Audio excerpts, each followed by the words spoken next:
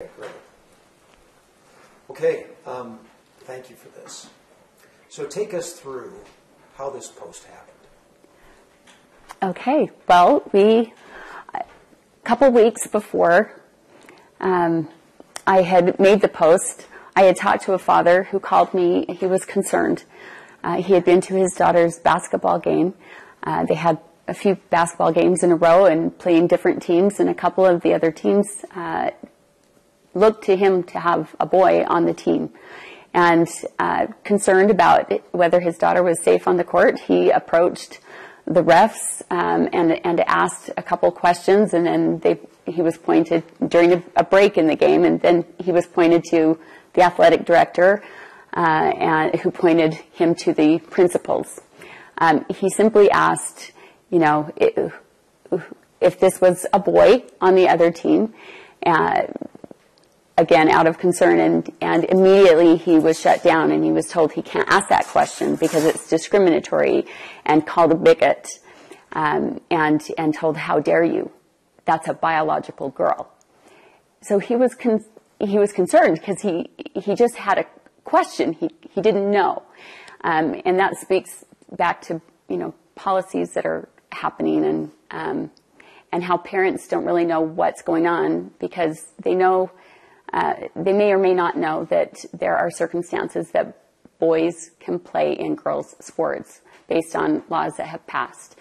Um, but they don't know the details. And so they look and they wonder and they don't know how to resolve the issue. Um, and so he came to me uh, and asked, and I honestly didn't know how to, what to tell him because I know it's a sensitive issue and um, it's something that nobody really dares talk about.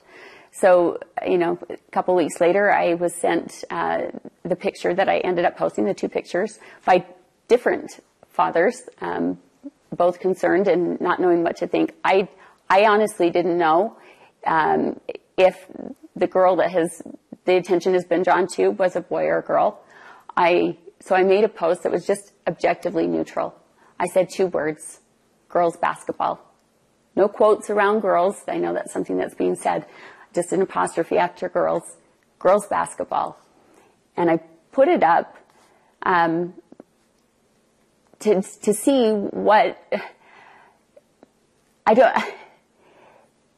The, the intent was never about the girl. It was always about the policy issues and the confusion that parents are facing and the uncertainty and, and they're not knowing how to have their questions answered.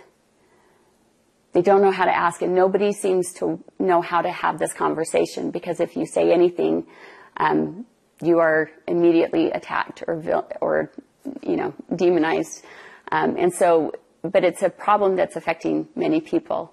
So I was, you know, hoping that we would have um, an opportunity to have a more of a policy discussion uh, around this. And so when I got on and I noticed after, you know, I was busy all that next morning. I posted the night before and I got on and I realized the direction it had taken where the comments that were being made were directed in a negative way towards this girl. I immediately was shocked. I, I thought it was, I called it a firestorm in my apology because to me it was a firestorm, but um, that looking at it now, it was nothing compared to what it's blown up into be, to be. Um, and so for the negative direction that it took, that was completely unintended, um, I am deeply sorry uh, for any any hard feelings or negative outcomes from that post. And if I had to do it over again, I would never have made the post if I thought it could go that direction. So you wanted to have a policy discussion, though. That's that's that where my mind is because that's what I deal with on the board, and so that's that was my frame of mind. But but can you see people who say, well, that's not the way to have a policy discussion. That's that's taking a young girl and drawing her into these policy discussions, which are the which are the purview of the school board, not a 15 or 16 year old kid. Yes, and that's why I quickly apologized and I took it down. And I immediately tried to contact, uh, find a way to contact the parents. I had a couple of friends reach out um, that know both families. They told me how wonderful the family is. Um, they confirmed that it was a girl. Again, I didn't know one way or the other. That's why I didn't say one way or the other. Um, that was not my intent. My intent was the policy discussion, and for that, uh, for drawing uh, attention to her in a negative way, um, that was uh, that was I own that. That that was poor say, judgment, and that's why I wouldn't do it again. When you say you own it, you, you mean what? That I should not have posted it. Um, so parents, you, you talk to parents of this girl, right? I tried. I reached out um, after finding out who they were. I immediately reached out. I sent a message to the father who had mes- who had messaged me, um, and he was, you know, upset, but he seemed open to t- talking about it. And I responded, and I, I let him know, you know, I, I, completely understand where you're coming from. Uh, it, if basically, if I'd been in his shoes, I would have been upset too obviously, because, but I hadn't been looking at it from that angle. And so I immediately, you know, I, I was really grateful to see that he was so protective of his daughter and would go to her defense. And I actually told him that I wish that there were more fathers like him that would stand up for their daughters and, and look out uh, for, for all of their children. And this was a phone conversation with him? No, I, I, I asked him if we could have, meet I or see. have a phone conversation, but text. It was texting, and and he never responded. Um, it was through a, a social media, so I could see that he had seen it, um, but he never responded, which I felt terrible about. I think we could have avoided the huge media blow up um, and this the added spectacle um, or negative attention that it drew towards the girl. Uh, if we could have just had that conversation, and he could have known so, where my heart was and where I was coming from. So it was reported that the parents felt that you had apologized at one point, but your apology was insincere or less than sincere. Um, so you never had the opportunity. Is that I never had the, opportunity. opportunity I reached out. I tried. I asked if we could meet, if we could talk, and I and I just I feel bad that that never came about. I did make an apology on a public apology on my Facebook post. Um, and I don't know if that's the one they were talking about. Um, it was a much more personal apology that I sent to them and, and I made a more general apology for the public. I just thought that was more appropriate given um, the platform. And, you know, that apology uh, has been taken as insincere or non-apology when it was absolutely from the bottom of my heart. And, you know, people want to deconstruct it um, and read things into it um, that were not my, you know, they're, the way my apology has been framed is um, is other people's interpretation and not what was in my heart. I was I am deeply sorry for the harm. I am a mother. I'm a grandmother. I have children. I know. I know um, that that's that that's not a good thing, and I don't I don't want any I don't want to hurt any child. I've done nothing but try to protect children the whole time. That's been the whole focus of my time in office is trying to find out or how to protect children. So the reaction to this post surprised you? Oh, very much. What what reaction were you expecting? I was just I I just wanted to maybe have a conversation about uh, the fact that nobody can ask a question even around dad, this. That's what the dad told you the father yeah. who initially was wondering about the makeup of the team. Right, but it, but it, you can see in our culture that if anybody brings it up, you know, they're immediately shut down in the general public. Uh, you just it's like the subject is off limits and we can't have this discussion. Not not in a real genuine way as far as how this is really affecting people because so yeah, it, we just need to be able to have the conversation based on the reaction, do you think the girl is a victim, you're a victim, or both of you are victims? I would say the girl is absolutely an innocent victim in this. And, and for that, uh, again, I feel terrible. I have, I have really good people that comment on my posts that are usually very civil, and so it caught me completely by surprise. I didn't. I know that those kind of um, conversations are had in other areas of social media, but I've tried to be very careful to have the tone of the conversations on my posts um, very civil, and so and the people that I that I'm friends with that can that comment are are usually very good, and so yes, it caught me completely by surprise. And you've already said if you were to if you had to do it again, you wouldn't do it. Right. Um, there have been people who said, look, you know, the job of a school board member is to defend and protect kids. This seems well out of that realm. Do you agree? When I see it from other people's perspective, outside of what my perspective was when I posted it, I can see what they're talking about. And, and that's why I would, if I had to do it over again, I would not post it or do it that way. I would try to find another way. I'm still trying to figure out, you know, the best way to address uh, the policy issue side of this um, so that we, hoping we can have that conversation. Let's turn now to this election interference question, if we may. Um, in your letter to Rob Axson, the chair of the Republican Party, uh, and others connected to the party, you raised questions about election interference. Um, what do you see as the most egregious examples of that? Well, when you have a sitting governor and the lieutenant governor come out and and make a denunciation against a candidate um, or an elected official that's running, uh, and they actively um, frame you in a in a very negative light and and condemn you in the public realm, and they attach the state seal to it, and then they actively promote, endorse, and contribute to the opponent's or the the individual's opponent. Um, that's that to me is unconscionable.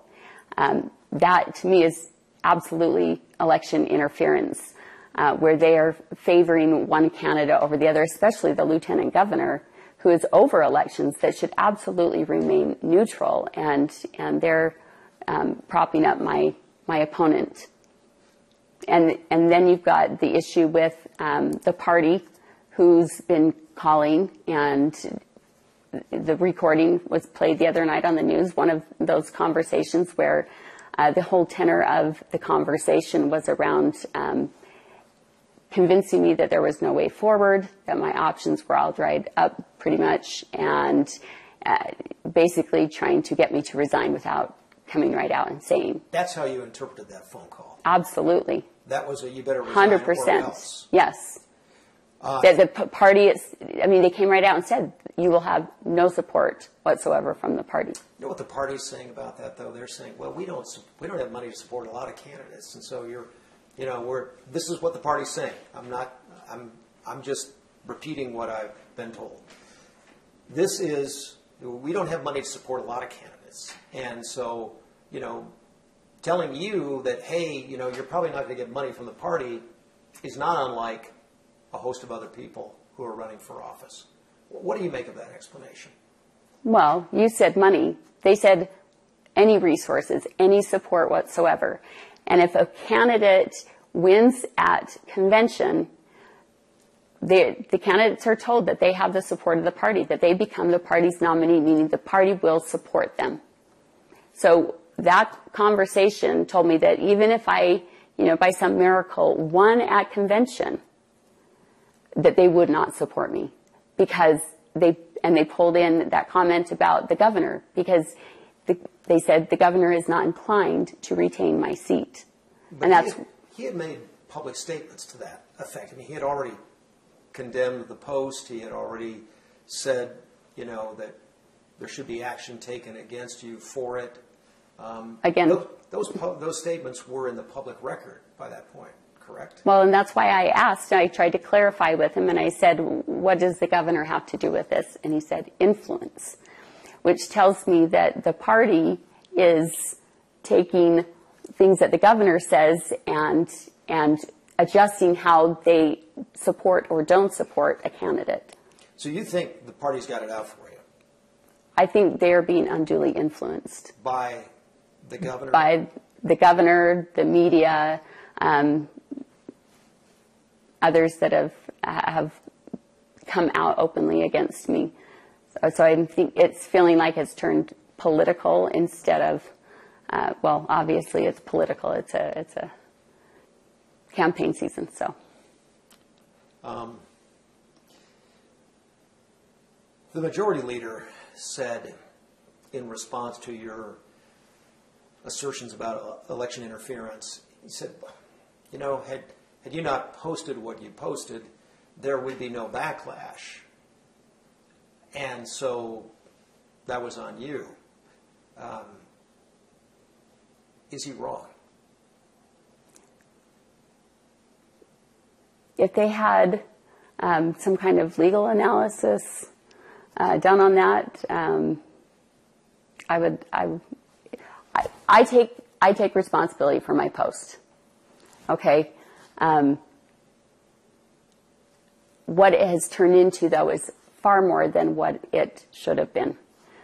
Um, again, there it seems to be uh, politically motivated to continue to blow it up over and over and over again, constantly for the last week on the news. Um, we've seen other actions um, by other leaders that uh, have been given very different treatment uh, or no treatment at all that are far more egregious, in my opinion. What, what's what's the reason? Why why are you a target when those other people, in your view, are not? That's a good question. Um, We get one in every once in a while. yeah, yeah. Um, I think perhaps it's because I I am outspoken and I speak very openly about the problems that I see. I, in my effort to be transparent to my constituents, because that was what I ran on. Um, I, I said that I was going in to deal with certain problems that I saw in the system, and one of those um, is about uh, the things that are being taught and being brought in, the undue influence um, in our schools from national and, and global agendas. And um, but I think our policies are all wrapped up in those national and global agendas. And so, for me to come in and be outspoken about those and shine a light on them um, is disruptive to the system. And so, those that have um, given all of their time and energies to building that system and making it more and more resilient to um, the so that the things that they're weaving into the system can't be undone um, are, are not appreciative of someone that comes in and shines a light on those problems because it's hard to undo those once they're entrenched. Some say that, you know, it's not just this one time that you've had kind of a track record since being in office of drawing attention, um, facing criticism for some of the things that you have said, um, and that this is part of a pattern. Is it part of a pattern, and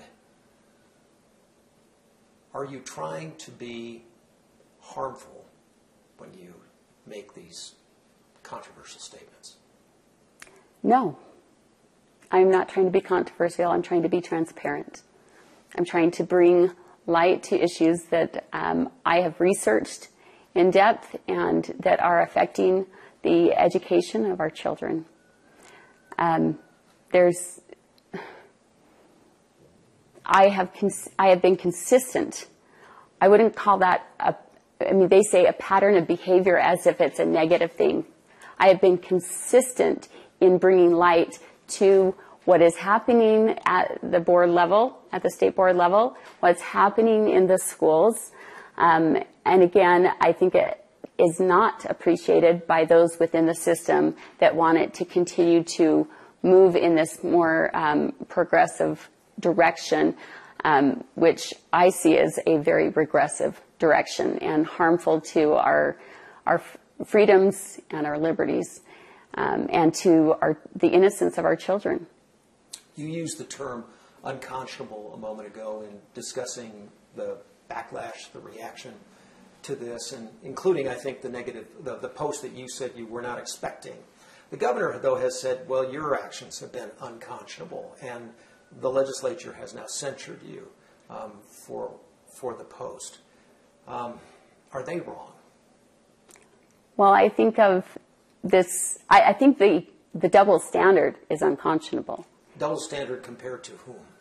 So you've got individuals like, like the governor back when uh, the incident with the BYU volleyball team, uh, where they said somebody was yelling racist things at, a, at one of the visiting players, um, and he called that. They, they, determined it was one individual in the stands, uh, a BYU fan, that happened to be an autistic boy, and the governor posted that this boy was a racist a-hole. Um, was there a backlash against that where he was actually targeting not just a child, this wasn't a child, it was an adult, but a childlike individual um, that was autistic and accusing, you know, going after him uh, for something he actually didn't ever say. Where was this huge blow up on something like that? But because of his position, I suppose, um, there was no backlash, and he was able to take it down and not apologize, and, and nothing more was said. There's another instance with um, Senator Nate Blouin, who back, I think it was in June of last year, during Pride Month, um, you know, he posted a picture of a 13 year old boy in drag twerking and said, this kid's got moves. So an actual child that is being harmed or exploited for the sexual pleasure of an adult male audience that was watching um, that's not harmful. I've, again, I have, the double standard is hugely problematic that they can hold one elected official to one standard and, and one to a, a, completely different standard. Um, that's not okay. And that's what you think is going on here with you? I think because I, I am shining light on things that they are trying to get into place uh, to create these the system of the, uh, a 21st century system for education, they're they're not happy with me, and I know I've spoken out against many bills that I see pushing us in those harmful directions based on my research that I, I do nonstop to try and uncover what these uh, programs and policies and initiatives are that are coming into our school. And, and I don't think that they appreciate when I speak out against a bill that in the past may have just flown through because uh, I don't think people are researching what these policies are that are being put in place. Why do you want to stay on the school board? I mean, given all of this, what what's your motivation to stay? The same thing, same reason I ran in the first place. I have I have no other desire than to protect the children of our state and to protect uh, their freedoms and liberties and their innocence. That's all I've ever cared about. And I feel deeply, uh, it, that is my purpose and my passion is to help protect kids. That's why it, it's ironic that this has all happened when I've done nothing but work as hard as I can every day in, in office to help parents and to protect children by exposing the things that are I see as harmful to children considering resigning? No. You won't resign? No, there's too much work to be done. And I, I've, and as, as long as my constituents want me there, I will be there and I will continue to be a voice for them. What about your race for reelection? You gonna gonna keep up your race for yes. reelection? If they if my constituents want me there, uh, I will. I think that is the proper process. That's our democratic process is that the ultimate accountability comes at the election. And I, so, you know, as far as um, other measures that have been taken against me, um, that uh, our Senate and House leadership call unprecedented um, in taking their actions against me yesterday, or the board taking against me, um, that is, I am in here for the people. And and to bring light and understanding and uh, and that transparency that so many in the legislature say that they want they want the schools to be more transparent. I'm actually bringing the transparency, and it's um, and it's appreciated by many, many in the state. I've I've heard from countless parents who have thanked me for bringing to light what is actually happening, um, the deeper um, workings of of the system that they never understood or knew before, and they are deeply grateful for the light that I have brought to the to these issues. And to the people who say this is not the way to do it, what you did, that post is not the way to do it, you say. I say you can't step into this arena without making mistakes. And there's not a single person that has gotten into office that has done everything perfectly. But I have, I have done my, uh, I have done my very best. Um, and it's not always appreciated again by by people with in that policy realm. Uh, maybe they don't like my style, but I have worked tirelessly to to bring things to light and help educate the people um, that I represent, and to try to be their voice where they are not otherwise heard. You think you'll win? I hope. I mean, if the people want me there, I am happy to continue serving. Some people out there might say, well, "Crazy," you know. I'm, I'm, I'm, speak, I'm not yeah. speaking my, for myself. I'm saying some people might say, "That's crazy. It's crazy that she's not resigning. Crazy that she's not leaving the campaign. Crazy that she thinks she might win." That that is what I think some people yeah. watching this might say. And to you, to them, you say what? I say, make your decision at the ballot box, and I am fine with whatever way the, the voter decides. I think that is what uh, government for the people and of the people is all about. And, and that's the way it needs to happen. Otherwise, if we continue to move uh, in the path that we have been going, um, which is unprecedented, this kind of cancel culture of elected officials, imagine the chilling effect that is going to have on elected officials being able to have hard conversations. Um, policy policy making is all about hard conversations and um, and being able to have these really tough debates about these issues. And if they feel for a minute that their unpopular opinion might get them canceled forever by their fellow legislators or their fellow board members, are we ever going to be able to really have um, strong policy debates again? Or are people uh, in those positions going to start going to start self-censoring um, for fear that they might say the wrong thing and and be censured by their peers in those positions? That's not what America is about. That's not what it was ever meant to be. And it sets a really bad precedent moving forward. If you were to be reelected, what would change with you in a second term? I will continue to do the work that I've been doing. And while also trying not to step on the, on the myriad of landmines that have been created in this um, cultural revolution that we seem to be going through right now. Do you have a recording, any other recordings with um, individuals decision makers, office holders um, that you have that you have taken in the last few weeks? For instance, the House leadership meeting that you had at the Capitol. Did you record that? And if you did, would you release it?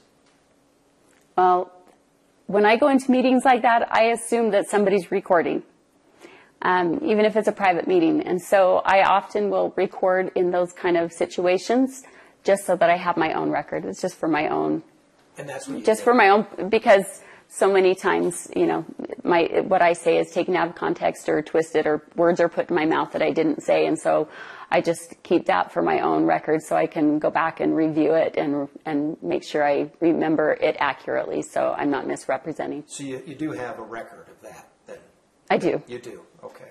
The the recording that you released to us. Um, wh- why did you decide to release that? I mean, what, what was your motivation then? If, if, if the recordings are for your record, um, why, did, why was it important for that one to be public?